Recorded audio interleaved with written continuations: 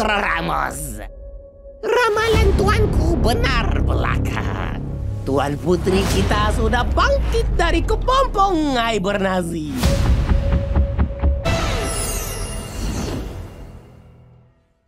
Siapa kau? Tunjukkan diri kau. Salam perkenalan, Bobo Boy. Kuasa elemental. Bobo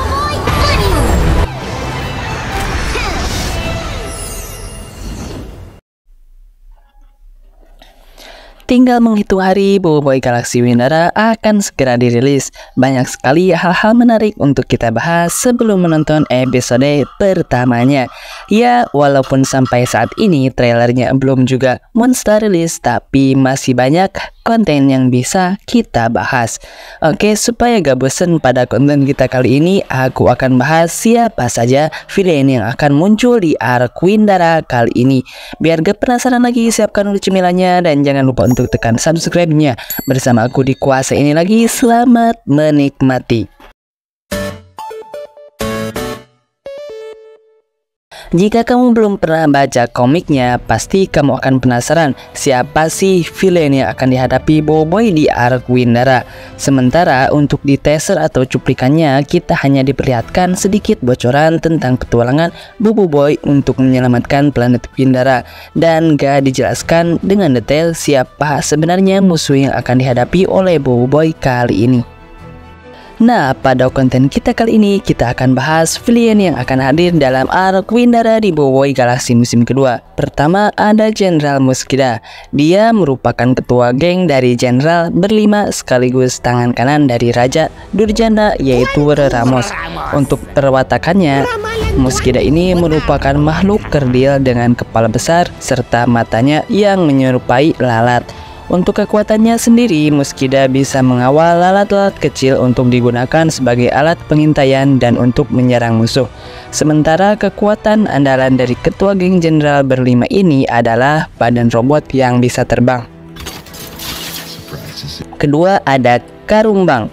Dia merupakan anggota dari jenderal berlima yang paling besar. Seperti namanya, Karumbang terinspirasi dari serangga kumbang tanduk.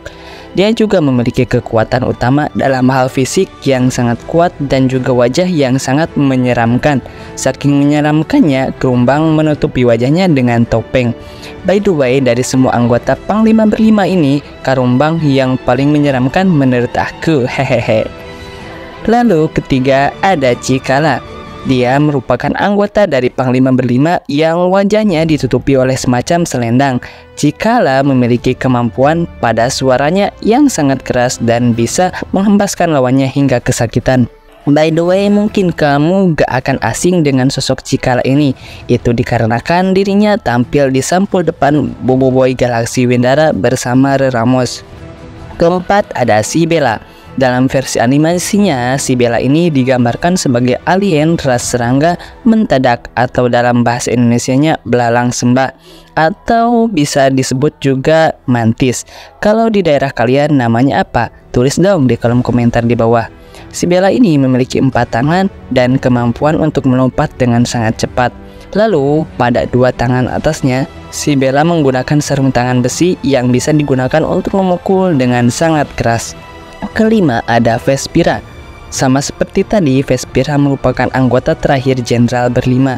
Lalu untuk perwatakannya sendiri, Vespira ini mungkin terinspirasi dari serangga lebah, terlebih dia juga menggunakan sebuah pedang untuk menusuk lawannya dengan cara terbang. Ya mirip lebah gitu ya. Next terakhir ada Ramos. Dia adalah villain utama yang akan dihadapi oleh Boboiboy dan kawan-kawan nantinya. Ramos merupakan Raja Durjana yang memimpin planet Windara setelah ketiadaan Kuputri. Namun tidak seperti Kuputri yang bijaksana dan mementingkan rakyatnya, Ramos justru sebaliknya. Dia malah membuat rakyatnya sengsara. Mungkin kita mengira bahwa kekuatan Ramos ini hebat banget, tapi ternyata tidak begitu juga. Raja Ramos sebenarnya memiliki power spera lampu bot yang bisa mengendalikan para Krakatoa. Walaupun tidak memiliki kemampuan yang hebat-hebat amat, tapi semoga dalam versi animasinya nanti Ramos bisa dibikin lebih kuat atau setidaknya ada perlawanan saat melawan Boboiboy dan kawan-kawan.